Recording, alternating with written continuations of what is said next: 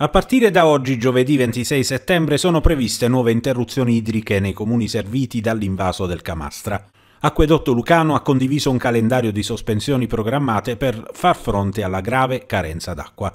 Il tavolo tecnico regionale, composto da rappresentanti delle prefetture, protezione civile, regione Basilicata e altri enti locali, ha stabilito le interruzioni che riguarderanno diverse aree di Potenza e numerosi altri comuni della regione.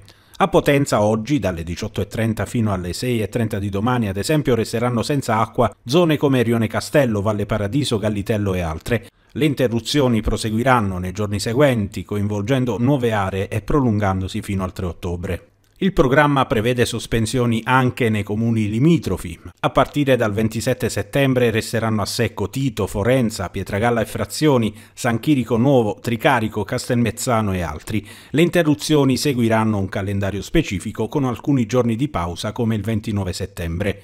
Sospensioni che riguarderanno soprattutto le ore serali e notturne per ridurre il disagio alla popolazione. Le autorità invitano i cittadini a fare scorte d'acqua e a consultare regolarmente gli aggiornamenti di Acquedotto Lucano per eventuali variazioni del programma.